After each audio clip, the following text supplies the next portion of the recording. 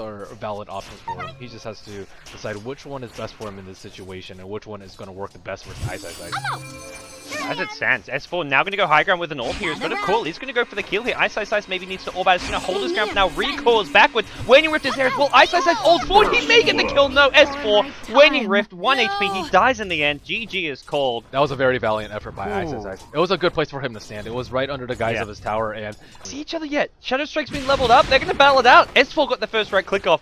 there's going to be first blood It's before, GG. but My yes! hands off the keyboard. Who's winning it? This is where the RNG min-max damage comes into play. go. They're right-clicking out. S4's got the first hit. Ice Ice Ice is going down. First blood. GG. Before the creep wave even first blood. spawns. Just That was cheeky. Negative 20 seconds. It's over. GG.